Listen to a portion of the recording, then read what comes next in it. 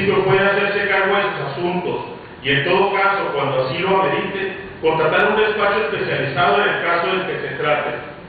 lo cual sería congruente con la política de austeridad que ha implementado el presidente municipal. Este es un asunto que hemos señalado constantemente, primero porque pretendíamos evitar suspicacias en cuanto a que el municipio está patrocinando la defensa jurídica del exalcalde. Pero ahora tenemos la certeza de que se pretende patrocinar dicha defensoría, pues, pues nada evitaría que este abogado colabore con la defensa actual, beneficiándolos con información privilegiada que podrá obtener en virtud del carácter que le dará ser abogado del municipio. Señor presidente municipal Carlos Borrell, usted ha declarado en varias ocasiones